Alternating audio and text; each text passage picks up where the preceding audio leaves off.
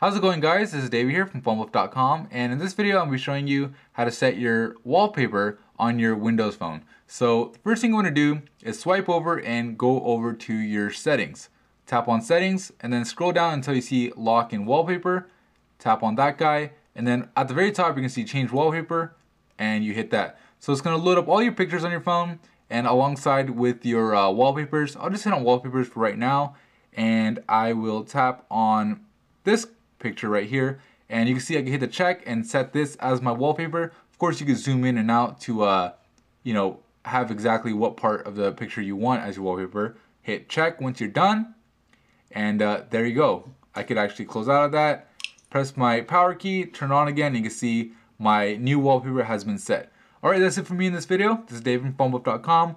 Thank you for watching it, and don't forget to visit PhoneBuff.com for more cell phone news, reviews, and how-tos. Thank you.